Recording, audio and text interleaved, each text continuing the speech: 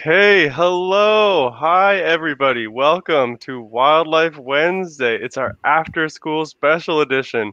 Say hi to us in the comments so we can check you out, whether you're on Facebook or YouTube or Twitter. We can see your comments, so say hi. My name is Ryan, and I am a botanist at WWF Canada.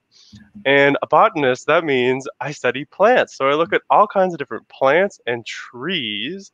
But you know what's cool about plants is when you spend a lot of time around plants, you end up seeing a lot of animals too. So whether that's insects, pollinators, birds, mammals, they all need plants to survive. So you end up seeing a lot of plants too. Uh, animals, that is. And um, you know, I live in a city. I, I live downtown Toronto. I do a lot of my wildlife observations from right out on my balcony. And so right now, one of my favorite, favorite animals are red-tailed hawks. I've seen a few of them just cruising right by the balcony. They sometimes get close enough that I can see their eyes and their beaks and their claws too. And I just love those red-tailed hawks because they remind me that a city is a place for wildlife too. Um, don't forget it. So that's a little bit about me, but today I'm not here alone. I'm with our species expert, Emily. Hi, Emily. Hi, Ryan. Thanks so much for having me. This is going to be so much fun. Uh, and I love seeing all these hellos coming in from from all over the place so far. So this is awesome. We've got people I see uh, saying hello from Mississauga. Mississauga might be the only place so far where someone's identified where they are, but if you want to share where you're you're you're calling or joining us from, that'd be great. Say hello, say what your favorite animal is. We want to hear from you. So oh, love that. Yeah. Yeah. So my name is Emily Giles, and uh, I'm a wildlife specialist here at WWF. So um, just like Ryan loves plants, I love animals. Um, I studied zoology in school I actually got to live in the jungle of Borneo for a little while. For my master's project, I studied bats. Um, and uh, I got to see my favorite animal there, which is a gibbon, one of those, um, it's a primate that swings through the trees, has um, amazing acrobatic skills. There was a photo there too of my dog, Jake. Um, so my, my dog and my cat, I have to admit, are my favorite individual animals, but I love all sorts of other other wildlife and, and wild animals. So yeah, that's a little bit about me, and uh, very excited to to answer your questions today. Yeah, yeah, it's going to be a great one. This is a super exciting episode because, like I mentioned, it's our after school special. So we know we've got all kinds of, we've got kids, we've got adults, we've got wildlife enthusiasts of all ages tuning in today to learn about wildlife. And so, Emily, why don't you tell us a little bit about how we're going to do things today? Sure. So today we'll be discussing and answering um, some of some of kids' most pressing questions about wildlife. Um, I also have some of my own favorite species that we're going to be learning about. So um, I think they'll they'll be yep there they are. They're on screen right now. Um, so for the past week, kids across the country have been submitting questions to us by video. And I have to admit, I've seen some of the questions. I've had a little bit of a sneak peek, and you guys have amazing questions. I think some of you were really trying to, to stump me on these, and some of you succeeded. So I'm going to try and, and, and, answer those today. Uh, and I think things are going to get get pretty silly and, and pretty wild. Pretty wild indeed. So to make things even a little bit wilder, I have a little game planned for us later, and I'll explain the rules when we get there. But what's really important too is we're going to be doing trivia later. So everyone watching right now, pay very close attention because we're going to be quizzing you, and we want to know who knows the most about all this cool stuff that we're going to talk about. And also, don't forget that I can see, you know, we've got tons of people interacting with the chat already. If you have a question, just put it in there and we, we will be monitoring we're we're looking through the chat too and there will be some opportunities for us to answer your questions. So by all means put those in there. Okay so um, with all that in mind why don't we move right ahead to emily's favorite species Sure. Okay. So I'm going to chat a little bit about some of my favorite animals. Um, so the first one I want to talk about is, is this guy right here. And I hope that he can be focused okay on the camera. Sometimes a little hard, hard to focus him exactly. Um, but this is a ring-tailed a ring-tailed lemur. It's kind of a, a tongue twister. Um, there, there's a photo of one up on the screen too. Oh, so ring-tailed wow. lemurs are primates. So primates just like um, gorillas and, and monkeys. And they can only be found on one island off the coast of Africa. There's only one spot where they live, and it's an island called Madagascar. Mm. Uh, hmm. some of you maybe have heard of Madagascar because I know there's also a really great movie called Madagascar that that stars these ring-tailed lemurs. Um, so probably you've, you've heard a little bit about Madagascar, but it's home to many animals like the lemur that are only found there and nowhere else. Oh, and the wow. one thing, one thing I want to point out about the lemur uh, does, of course, have this amazing tail that's that's got rings on it, and that's where it where it's got its name from. So that's the first animal I wanted to show you. So cool! I heard Emily that the male lemurs will use that tail to sort of waft scents at each other. So instead of wrestling or fighting, they will they'll have like wafting battles. That's true. And you know, we could spend a whole episode just talking about some of these animals. So I'm probably gonna just whip through them quickly. But let's um, go for I, it. Yeah, again, if you guys know stuff about these animals, I want to want to hear from you in the, the chat too. The other animal that um, is another favorite of mine, and I have to admit it's a favorite of mine because I've seen it in the wild. And whenever you've seen an animal in the wild, it becomes a special species for you. So this one is the koala. You know, it's also a favorite animal of mine because it is so adorable. And you can probably hear my, my dog Jake crying. I don't know. I think he's he's upset that I'm talking about other animals and not oh. him. He's one of my favorite animals too. He's a very um, cute animal too. he's a very cute animal too, Jake. Um, but this one is a very unique animal too because it's what's called a marsupial.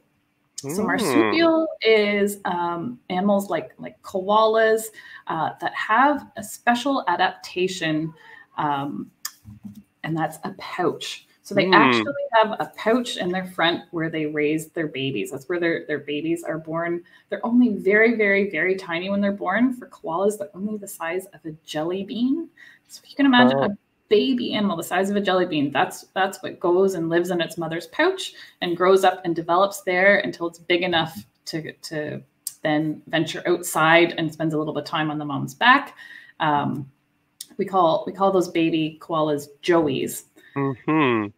Um, and and an interesting point that you'll probably like because you like plants. Um, koalas eat eucalyptus, and that's yes. all pretty much that they like to eat. So you you probably know eucalyptus, Ryan. It's a beautiful smelling plant. I one time had a candle. I know some people have fragrances, essential oils of eucalyptus. It's um yeah, it's one of my favorites.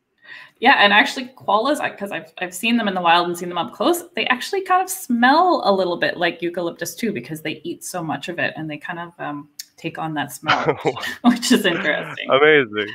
So next um, time I'll just get a koala instead of getting a candle. Yeah, exactly. It's that easy. Keep it right next to the bed. Sure. I don't know. I like them in the wild, but okay. yeah, you can get a, a, a, toy perhaps. Ah, good idea. Um, okay, there's one more animal that I want to share with you before we get to, to some of the questions and, and trivia. And this it's this guy here, another oh. animal from Australia, just like koala. This is a kangaroo. So and that it, one's got that pouch too. Yeah, exactly. So just like the koala, um, it has a little pouch in the front. It's also a marsupial, um, mm-hmm. which means uh, pouch. It's actually the Latin word for pouch. So again, just like the koala, it raises its babies in these pouches. Um, uh, and yeah, and then when they're when they're big enough, they can they can venture outside. Um, and Ryan, do you know that we have a marsupial here in Canada as well? We have one species, even though That's right. Yeah, even though most marsupials can be found in Australia and South America, there's one here in Toronto. Do you, do you know what that one is? I know it, and I've actually seen it. Maybe some folks in the audience have too. It's a Virginia opossum. Exactly. Yes. Um, so they're only they're only really in southwestern Ontario. Um, because they, they don't like the cold. But um, yeah, I've seen them here in Toronto too. Very um, cool. Yeah, and the neat thing about about kangaroos, you can see them there in that video. They're the largest animal that can actually move by hopping. So they've got these these big, huge feet, um, and that helps to to propel them very, very, very fast. They can go um, up to 70 kilometers per hour for, for a short wow. distance. That's Yes, so that's- fast. That's faster than cars are allowed to drive around the city. So it's it's incredibly fast. So Oh my gosh. yeah, pretty cool animal. I don't I think that's faster than I can even go on a bicycle. Probably, I would think. Jeez, wow. Okay, that's amazing. Thanks for sharing all that, Emily. I learned a ton. Like I had no idea that um, koalas smell like their favorite plant, eucalyptus. That's uh, that is pretty cool news to me, and um, I'm gonna put that in the memory bank. Amazing. One of the things that you don't usually learn about in, in textbooks. Okay. Um, well, so we're gonna we're gonna do this game a little bit later. We're gonna get to that, but for our next little segment, and this is the best part, we're gonna get our questions from our audience, our younger audience members. Very much excited for this. So why don't we go directly to question number one? Great. Why do whales shoot water out of their head? That was from Isaac. Amazing question, Isaac. So what do you think, Emily? Why do whales shoot water out of their head? Yeah, great question. Um, I'll try and explain this one as, as simply as I can and as clearly as I can. But the simple answer is that that whales breathe differently than you and I do, um, which makes sense because they live underwater. So when we go underwater, we know that we can't breathe breathe in and out in a normal way, or we we breathe in all that that water. So whales have to go to the surface of, of the water to get oxygen and, and push out their carbon dioxide from their lungs. And they actually do this through um, a modified, their nose is actually on the top of their head um, in something called a blowhole. So when they go to the surface, they have to push, they have to breathe in and out really, really quickly. So what they do is they quickly push out all of the air that's in their lungs. They've got very, very strong lung muscles and they can push all that air out and it, it actually shoots up sometimes 20, 30, or 40 feet in the air. And what they're yeah, it's incredibly high. If you've if you've been on a boat, you've probably seen this. You can see them from a distance. Um, because that air that they're pushing out is is actually quite warm. Um, you can see it, so it looks like water vapor. Okay, so it's a bit like on a cold day when I'm outside and I breathe, I can sort of see my breath. So it's not actually water, it's kind of like it's just the condensation. Exactly. Yeah. So you're actually just seeing the whale breathe. Um, so actually, this morning when I was out for a walk, it was so cold I could see a lot of people's breaths too. So Oh, sort of like it. that. But that was a great question. Thanks. There you go, Isaac. Hopefully, hopefully that was the answer to your question. So let's let's move on to the next one.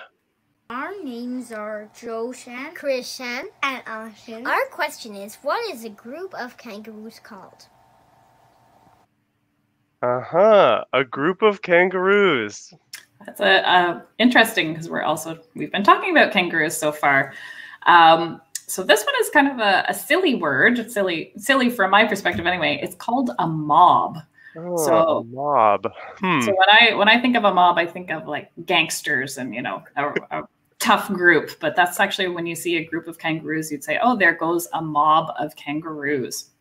Um, so a kangaroo Yeah. mob can be you know small, just a, a few individuals, or it can be um, fairly large with with several hundred individuals. And it's it's safer them for them to live in these these mobs or these groups because they can communicate with each other and tell each other when there's danger coming. And they do that usually by by using their their big feet and stomping on the ground to warn each other that that uh, dingo or a wild dog or something is approaching and they they need to stay alert There you go, a mob of kangaroos. Maybe it has something to do with how they, you know, they like to sort have sort of little fisticuff battles sometimes. maybe Maybe like like a mob. Anyway, it's I always find those words interesting. How any group of animals typically has a collective noun like that. You could you could get into those. Uh, it's a, a deep rabbit hole there. it's true Um, All right, so why don't we go on to our third question? Hi, my name is Kara. This is my koala and my sloth, Emma. We were in Toronto. I'm wondering how can people in Canada help hurt or endangered species? Bye. There you go. Great question from Kara. What do you think, Emily? How can we help? That's a great question. Um, and you know, of course, for for Ryan and I, our whole job is to help endangered species. So I'm glad that you've asked this question because I think really just by asking that question that you show that you care and by caring and by using your heart that's the first step in in helping endangered species. Because i think the more we know about them the more we care about them and the more that we'll be inspired to, to take action to help them. Um, so what i would recommend as as kind of your your first step since you've already shown that you you you care and you're curious um, is to find out what animals live near you. What are the animals that are in your neighborhood or in your city? Maybe the animals that live at, in the lake or the, the ocean near you, and find out what you can about them. So, Ryan, you talked about how there was a red-tailed hawk near your your balcony, and you didn't know that red-tailed hawk lives in Toronto. So, just finding out stuff like that is fantastic, because um, then you'll you'll take steps to help them you also talked about how um, I know I know that you love butterflies and you've got um, plants on your balcony. So when you when you know that you've got those those plants there that help butterflies, you can specifically plant milkweed and things that you know that they they need to to live and survive. So great question, and, and I'm glad that you asked that. Very very very much uh, in tune with with what we want to do here at World Wildlife Fund. Totally. Yep. I agree with everything you said. And Kara, I would say also just share that that love, that passion, that enthusiasm. It's infectious. You'll spread it to other people, and then uh, you know you'll just be surrounded with a whole bunch of other people who want to help out too. And that's what it's going to take. All of us, right? Absolutely. Yep. Okay. Talk, talking is important.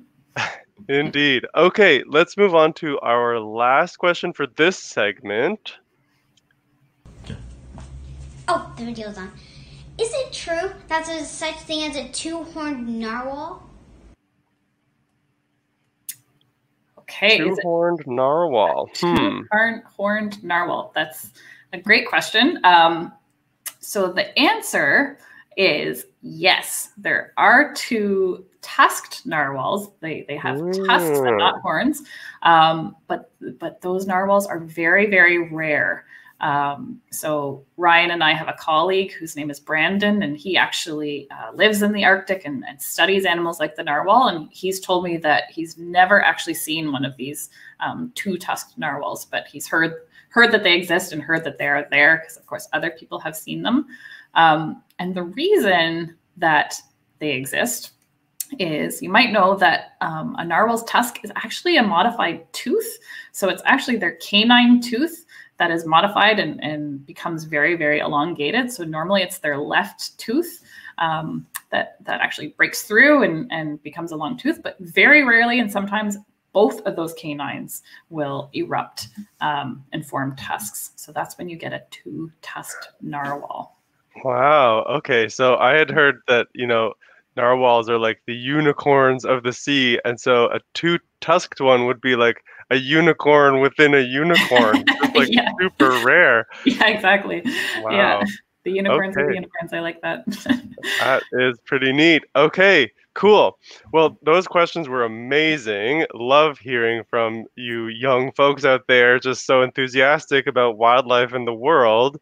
And we're going to come back to some more questions in a little moment. But for right now, we're going to switch gears over to a game that I'm calling 10 Wild Questions.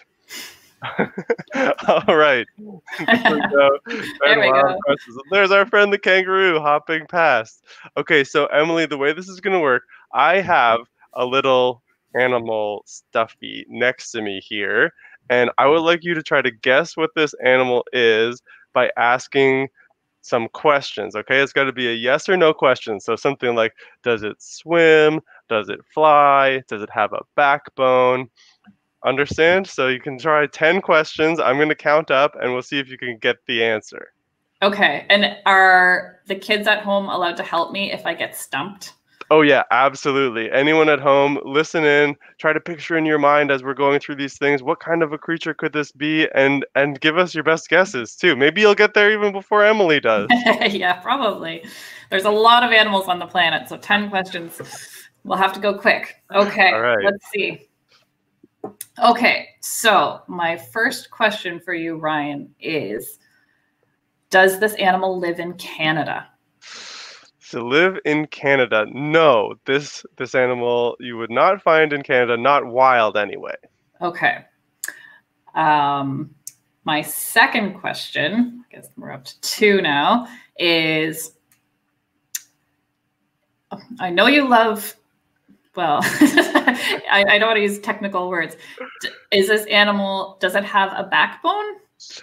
Yes. Okay. So vertebrates, I think maybe was the word. Yes, it does Yeah. have vertebrae, which we can also say it's a backbone. You know, we're vertebrates, and this animal is also a backboned animal. Yes. Okay, so it's either a mammal, a bird, a reptile, an amphibian, or a fish. We're getting it narrowed right down. okay. Um, does this animal live in water? Um, this animal does spend a good amount of time in the water. Yes. Yes. Hmm. Okay. Um, is this animal? Yeah. Okay. Is this animal a mammal?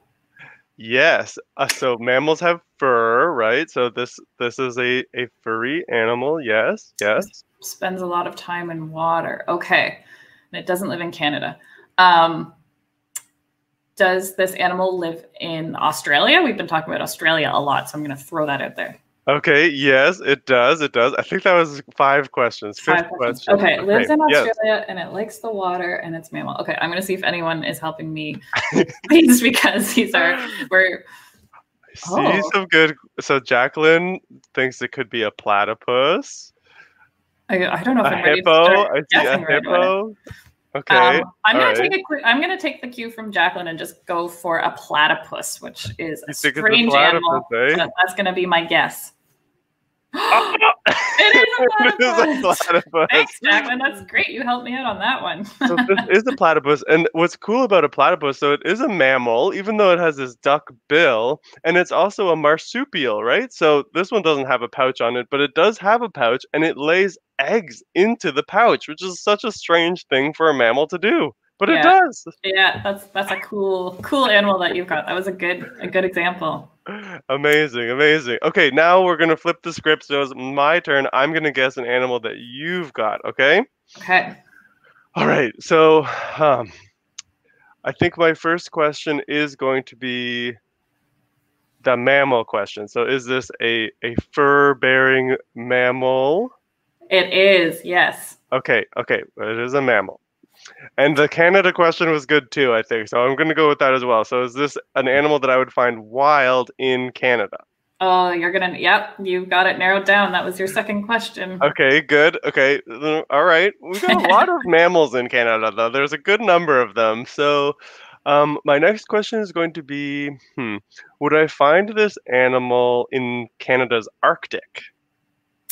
Ooh, it's it's not it's not an Arctic species. No. Okay, okay, But I'll give you a hint. It is in the north. North, but not Arctic.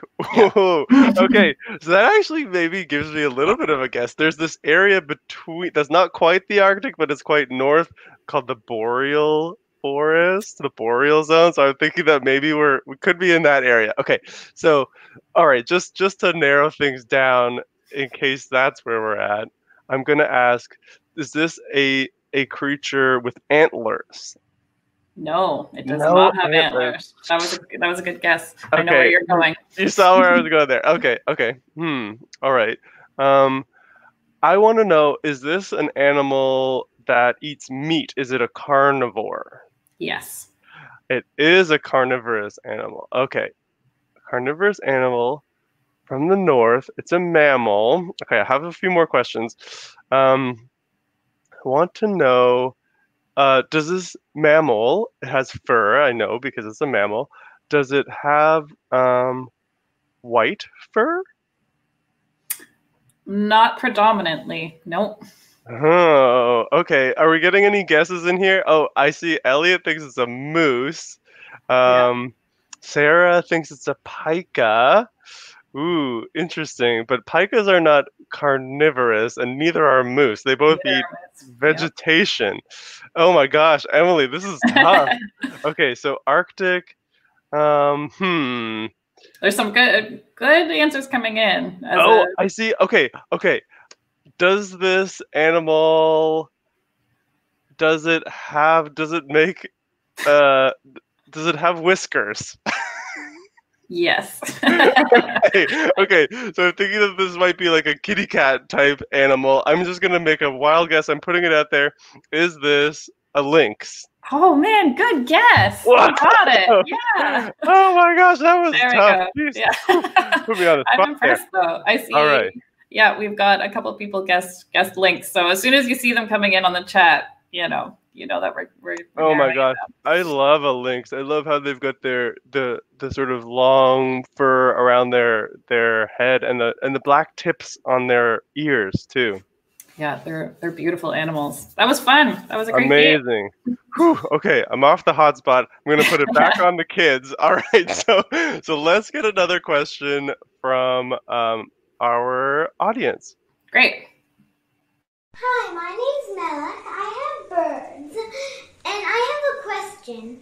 So, snakes, how do they hatch their eggs? I know that birds use their beak, but how do snakes do it? Thank you. Oh my gosh, great question. And Great an animal lover there.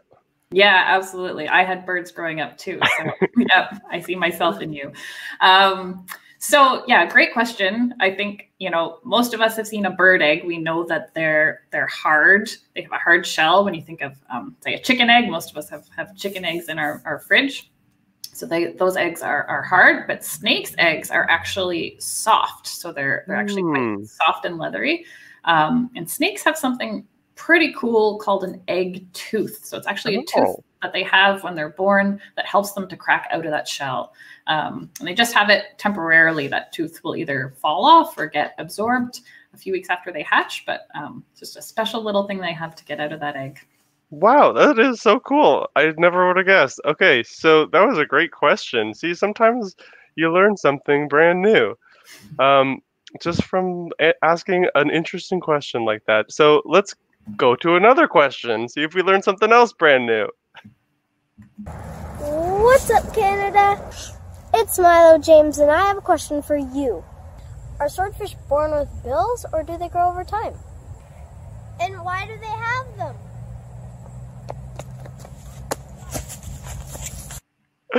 a jump and a click of the heels. Love Yeah. that. Awesome. And I saw Milo James said hi earlier, so I think you're you're here live today. So Oh, hi, Great Milo question. James. Yeah, I love that. Um, so the answer is they they do swordfish do have um, bills that it's very very short when they're born and and they grow over time. And if anyone has seen a picture of an adult swordfish, they're absolutely incredible. They have a very very very long nose, and they use that, uh, which we we call a sword. It's not actually a sword, although they do use them to hunt. So they Hmm. don't use them like a like a stabby kind of sword that you'd picture. They actually use them. They kind of move it back and forth to kind of stun their prey a little bit so that they can, can then eat them. So pretty neat. Wow. Great, great question. Very cool. Okay. Learning stuff all the time. All right, let's move on to another question. My name's Zidane, and is a koala bear really a bear? Okay, Zidane wants to know Is a koala bear really a bear, Emily? Good question. Um, so the answer to that is no. It's not really a bear, even though we we call it a koala bear. Probably we call it that because they're so cute. Um, but they're not. They're not a bear like like our grizzly bear or brown bear or black bears that we have here in Canada. They're as as we mentioned earlier, they're a marsupial, that special kind of um, animal with the pouch. Right. Yeah, Australia does it different. They've got all kinds of different sorts of things there. So instead of having bears, have marsupials that are kind of shaped sort of like bears ish. all right. We have one more question, I believe, from our audience members. With the winter coming, how do Arctic animals survive in the cold temperatures? Hmm. Yeah, I'm thinking a lot about this coming up. It's starting to get cold, and I wonder how I'm gonna survive. yeah, exactly. Yeah, this is this is again something that we could spend an entire episode talking about because there's so many unique and wonderful ways that animals are adapted to stay warm and survive because it's it is cold up in the Arctic. So um, the, the quickest answer, the shortest answer that I can give you is that a lot of them have amazing, amazing adaptations that allow them to survive the cold. Um, one of them is, say, for example, the Arctic fox. It has a very, very, very thick coat, thick fur coat, um, as well as a big, thick fur furry tail that they can use to wrap around themselves, and, and they use that to, to keep them warm. Um, when you think about things like uh, narwhal, they have a very thick layer of, of fat or blubber um, that helps helps keep their body warm, keeps that heat inside and, and the cold out. Um, and the other thing that they can do is use behavior to survive. So uh, Arctic animals, um, some of them will either hibernate when it gets really, really cold. So they'll go into a, a deep winter sleep. So polar bears, for example, uh, a female polar bear will actually hibernate while she's giving birth. She, she goes into, into um, a deep sleep, into a little den, uh, and gives birth during that time, has her babies during that time um, so that she can avoid those coldest winter days. Other animals um, actually leave. They, they come south where it's where it's warmer. So um, think about birds. Our, our birds do that here too. They they head south, head to where it's a little warmer, where they can find food. Um, so those are just a few examples of, of how our well tongue twister Arctic animals stay warm. But yeah. that's a great question and one that I could talk about for for a long time. So many different answers there. So depending whether what kind of habitat they're in, you know, it reminds me when you're telling me about the the seal and their blubber. I used to scuba dive in cold water, and we would sometimes wear a wetsuit, which is kind of like putting on a seal's skin in a way. It's like a biomimicry adaptation kind of thing. Very true. All right, cool. Well, th- such great questions. It's it's amazing to hear from all of you folks. You've got those those wheels are spinning up there, so just keep sending those questions on over, and we'll keep answering them yeah, I see lots of questions coming in. I, I have a feeling we're going to have to uh, do a, another episode to answer all of these because there's so many. This is awesome. Yeah. Okay, so before before we go to trivia, I did see one question that was a pretty good one, and I want to. I think we should address it right here. Okay. Um, somebody further up, I'll see if I can get the name. But while you're answering, wanted to know what about what do you think about feeding bread to animals in the city? Good idea? Bad idea? What do you think? So I I know I've seen a lot of people feed bread to, to ducks and geese in the wintertime. Um, I don't think for ducks and geese specifically, it's actually not a good idea. Um, they don't digest that that bread very well. It, it kind of sits. They have a, a, special stomach right here called a, a, crop. It just sits there. It's not good for them. Um, and it also encourages them not to do what they're naturally supposed to do, and that's migrate. So they're supposed to go migrate south where there is food for them. Um, and I, I like to keep encouraging those birds to leave and, and, and do that. So I'm in yeah. the camp of don't feed don't feed bread. No. I think I happen to agree. You know, and I, I found that question was from Facebook. It was Carrie Ann Hollywood. I don't know if Carrie Ann is in Hollywood or Carrie Ann's name is Hollywood. That's pretty cool. Either way, great question. And yeah, I happen to agree. I think it's best for creatures to eat the things in their habitat um, and uh, you know we don't need to to feed them extra. yeah, because it might not be the right thing, like bread. It's yeah, not, not not a good food source for them. Mm-hmm, mm-hmm. Indeed. Okay, so lots of other questions we could get to, but instead, I want to flip it over and I want to ask some questions to the audience through trivia. So this is where we got to make sure that everyone has been paying close attention, um, and we're going to ask some some questions about topics we've been already talking about. So why don't we jump into that trivia time? Awesome.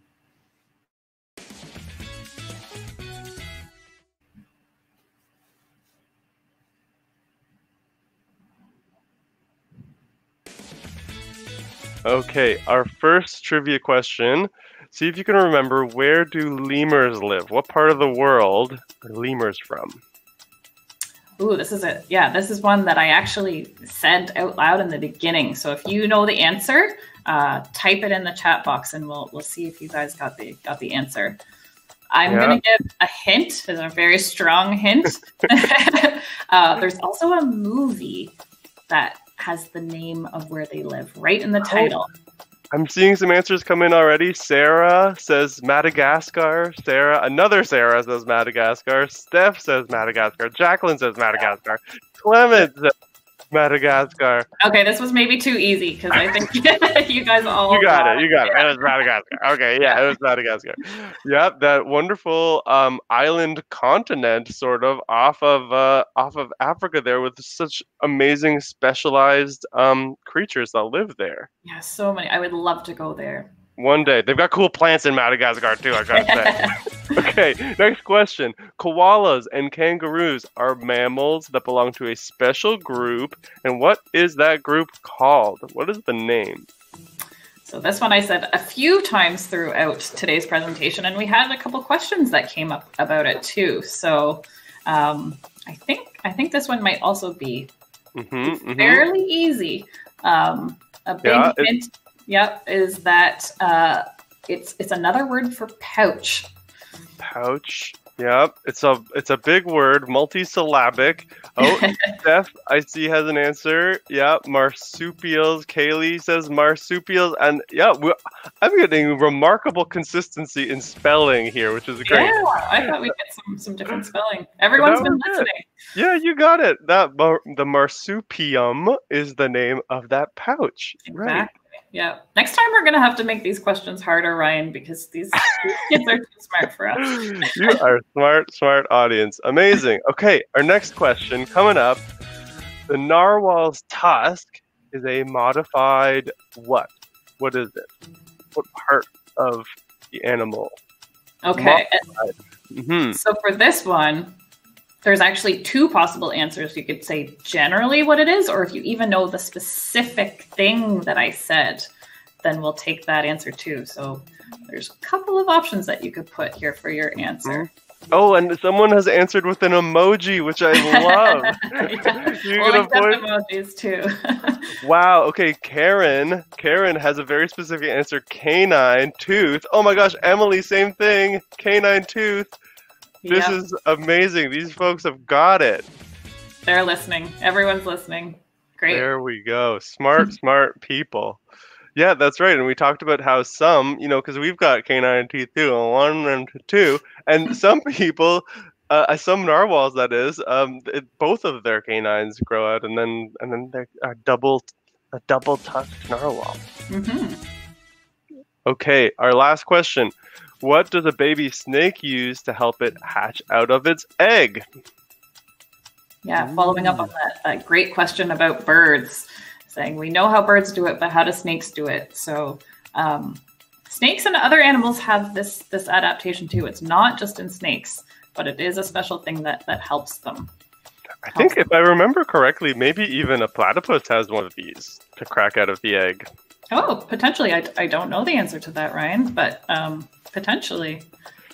Okay, I'm seeing the answers come in. People are saying egg tooth, and uh, in fact, I believe that that is the right Yay! answer. Got a tooth, tooth theme today. yeah, yeah, we're on those teeth. Amazing. Yeah. So that's it. That's the end of our trivia. Um, you all did so so so well. Um, it's it's always a pleasure to be in the presence of an audience that is paying attention. yeah, definitely. Smart kids. So you know that's uh that is going to be it for this episode of Wildlife no. Wednesday. We're I know it's coming to an end. Well, thanks everybody for tuning in and for for participating with us, for sending us your your messages in the chat. It was a wonderful time. Yeah, this was so much fun. I, I loved answering all your questions uh, and hearing those were fantastic videos. Um, and don't worry if we didn't get to your question today, if we didn't get time to answer your episode. Ryan and I are going to be addressing all of the questions later on in, in another video that's going to be uploaded to YouTube next week. Um, and I also wanted to say, if you if you like these little guys, um, you can get them on our website too at, at wwf.ca. So Yeah, they're pretty cute. I gotta say, pretty cute. Um, and and very fuzzy. Even the ones like this beluga that I don't I don't think would be fuzzy in real life, but I like that it's fuzzy. yeah, still very fuzzy. And um, don't forget, too, that we've got one more Wildlife Wednesday coming up in um, this calendar year. That's going to be on December 16th. So just come back to whatever platform you're on, come back on December 16th. And there will be another episode, and the topic is a mystery. We don't Ooh. know. You'll you'll have to tune in to find out. Um, so, um, I believe that's all. Thanks, everybody. Yeah, thanks so much, everyone. This was so much fun, and uh, I hope that you guys had as much fun as we did today. So we'll see you on the next next time that Ryan and I get to do this. Absolutely.